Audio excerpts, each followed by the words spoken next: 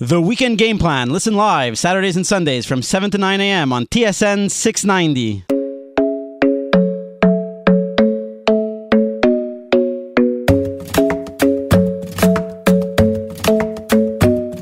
The club isn't the best place to find a lover, so the bar is where I go. Me and my friends at the table doing shots, tripping fast, and then we talk slow. And you come over and start up a 751 TSN 690. and It is Weekend. Game Plan. I'm your host, Matthew Ross. We're here till 9 o'clock. An update uh, from the French Open. Uh, Del Potro versus Murray. What a great matchup this is on the men's side. Del Potro up 5 4 right now. He's up a break in the first set. It is 40 all, and he is serving. So Andy Murray on the ropes. Uh, not on the ropes, it's early on. You got to win three sets certainly to get this thing going. But uh, he is. Oh, now Andy Murray had chance to break here now at 5 4 for Del Potro. We'll keep you up to date with that matchup. Amanda Stein with her Sports Center updates, I'm sure, will also allude to it. But right now, let's talk some amateur sports. Weekend Game Plan gets out into the community with Suburban Newspaper sports editor Mark Lidbetter and the Amateur Sports Report.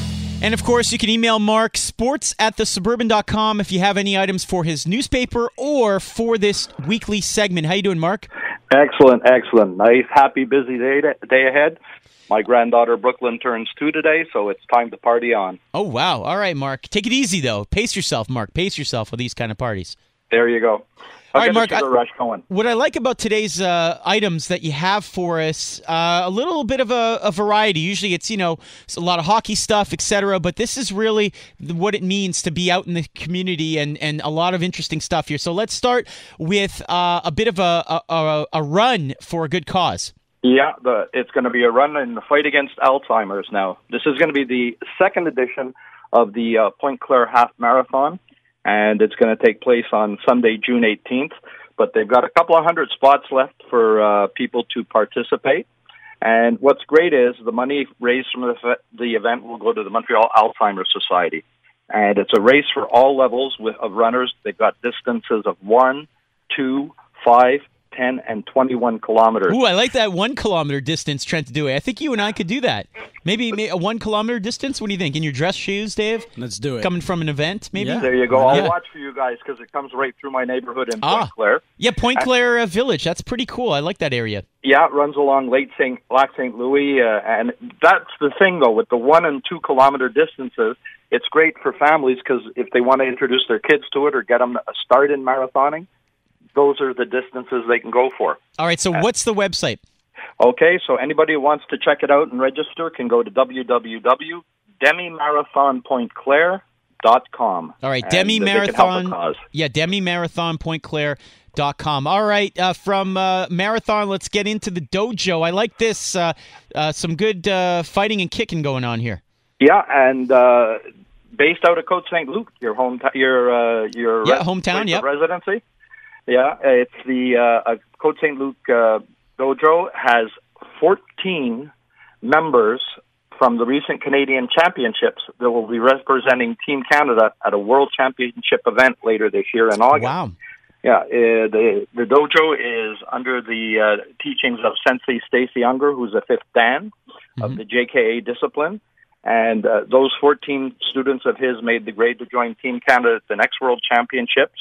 And they'll be traveling to Limerick, Ireland for the 14th Wow. Funakoshi International JKA Championship from August 18th to 21st.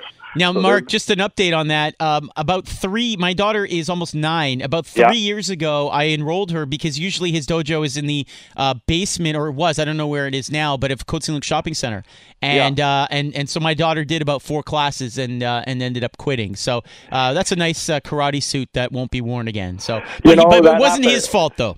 No, but it happens to so many parents. You know, let's try. Th- I want to try this. Yep. Okay, go ahead. Yeah, I want to play. But I, I liked his style, and I, Yeah. I had seen him around, and, and I used to uh, when when West End Gym was in that facility, I used to see him teaching his students, and so uh, good on him. Congratulations there. But uh, moving over to uh, gymnastics. Yeah, they uh, just recently they held the uh, Canadian Artistic Gymnastic Championships at the Centre Claude Robillard, and uh, a couple few local gymnasts uh, did really well. You had Rio Olympian Rosie Kaying Woo of Brossard. Uh, she took home the silver in the senior all-around discipline. And what was really nice is we've mentioned this young young lad uh, earlier in the season, uh, um, Mr. Dolci, Felix Dolci from Laval of the Laval Excellence Club, won gold in four apparatus finals, also taking home one silver medal. So, a uh, very good event for him. And his teammate, uh, William Émard, added four gold medals and one bronze medal this weekend. Uh, Émard won gold on floor, rings, vault, high bar, and bronze on the pommel horse. So, just some excellent athletes. All right, and uh, let's wrap it off. Uh, wrap it off. Wrap it up or finish it off. Pick one uh, with GMAA Sports, of course. The uh, the uh, high school uh, level or various levels around the Greater Montreal area. Always good competitive stuff. Yeah, you know the end of the school year is coming when they have the spring sport championships and some Division One results. We have rugby boys. You had Loyola take St. Thomas 41-14. Loyola also over St. Thomas in the midget boys final, 43-17, and Chateauguay Regional Valley Chateauguay Valley Regional High School won 38-14 over St. Thomas. Now, what's impressive though is looking at St. Thomas. I mean, they made three finals and three silver medals, so that's that's a solid program. Uh, now, in the rugby uh, girls juvenile final, Howard S. Billings won 36-5 against uh, the St. Thomas team, uh, and in midget, Westwood High School won 34-5 over Chateauguay Valley Regional. Then you had some field lacrosse final. You had uh, Howard S. Billings bested Kahnawake Survival School 11-9 for the juvenile boys crown. In juvenile girls flag football, crazy score. Westwood High School won 2 nothing only over Cooper Midget, over Cooper. And the midget final saw Pierrefonds Comprehensive High School win 27-6 over St. Thomas.